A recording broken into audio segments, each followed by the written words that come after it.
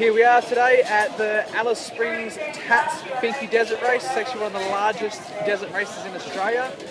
Uh, it's pretty crazy, the atmosphere. We watched the bikes come over the line, they all come in and finished. It's pretty cool to watch. Big TV there, we can watch everyone come through the arena. Uh, the race, they basically leave Alice yesterday, race all the way down to Finke, which is about 250 k's away they set up camp down there for the night, and then what they do is they do 250 k's back the next day.